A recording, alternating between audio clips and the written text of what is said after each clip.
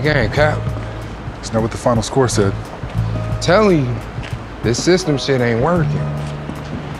You out there killing yourself and we still losing by 26? But it might help me if other people played their roles. You think I ain't trying? Out there running the same way, moving to the same spots? Ain't how we won the whole damn thing with McKinney, remember? Of course I remember. And I also remember you telling me that this team could benefit if I just humbled myself. Yeah, shrunk the ego a little bit. Perhaps this time you took the same advice.